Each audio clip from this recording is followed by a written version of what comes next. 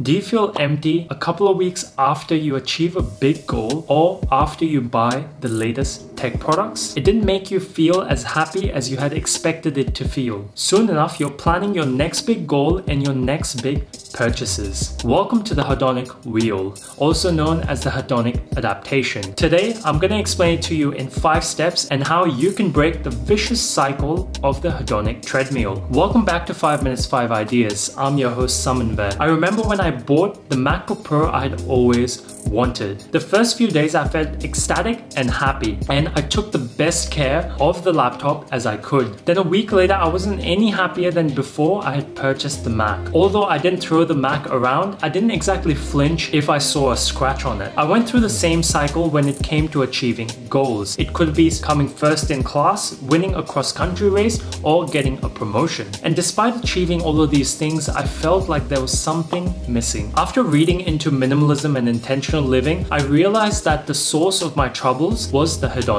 treadmill. Psychologists Brickman and Campbell first proposed the idea of the hedonic treadmill, aka hedonic adaptation, in 1971. They found that no matter how good or bad an event initially might make us feel, we always return to a happiness set point which was similar to how we felt before the incident. Let's take a look at the research comparing happiness levels of lottery winners versus that of recent paraplegics due to accidents. While initially each group experienced extreme levels of happiness and sadness respectively, in the long term, these groups were not any happier than the other. Their happiness levels had normalized to before the incident. Now we know exactly what the hedonic treadmill is, what are the implications for us in our daily lives. Achieving a goal or engaging in retail therapy will never make us happy on its own. So if you you keep chasing the high that you feel after a subsequent big purchase, then you'll be left feeling dissatisfied and unfulfilled. And you won't be any different to a rat chasing its own tail. The hedonic treadmill is a trap that is a lot harder to escape in our modern capitalistic society, where materialistic success and consumerism are king because it's deemed to be good for business. On the flip side, if you're going through a breakup, then rest assured that your happiness levels will definitely revert back to how you felt before the event. So what exactly is the happiness set point and is this something we can possibly change? The happiness set point as we discussed is the baseline of our happiness. Some researchers have found that up to 50% of that happiness set point is determined by our genetics and then another 10% is determined by the environment we live in. So that is the family we're born into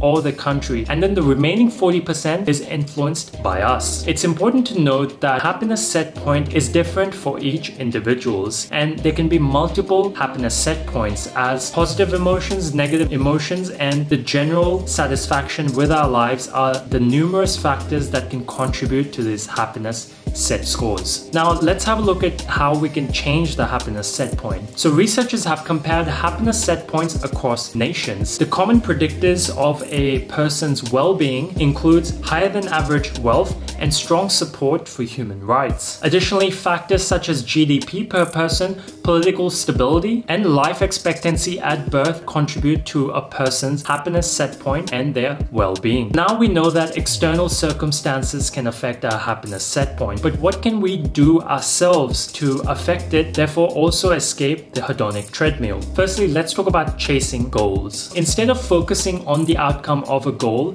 it's better to focus more on the process of it, as that turns it into an autotelic experience, which you enjoy doing for its own sake. And therefore, this also enables you to manifest flow, which is the real thing that can improve your quality of life. If you're interested in finding out more about what I mean by flow, make sure to check out this video. When it comes to engaging in retail therapy, before you do something like that, always make sure to ask yourself whether you need that particular item or whether you simply want it. And definitely spend some time thinking the purchase over as it'll allow you to escape your impulsive urge to buy an item. And another thing that's helped me a lot is by decluttering. Make sure you look at that item and ask yourself whether or not it makes you happy. And if it doesn't, get rid of it. This is something that I've learned from Marie Kondo, an author of multiple books about minimalism, which is all about assessing your relationship with the things you own and also assessing assessing truly what makes you happy in real life rather than buying the latest iPhone or the latest computer. Now, I've only briefly covered the hedonic treadmill. If you're interested in finding out more, I'm gonna leave a whole bunch of links below so you can go ahead and delve into it more if you're interested. As usual, if you enjoyed the video, don't forget to like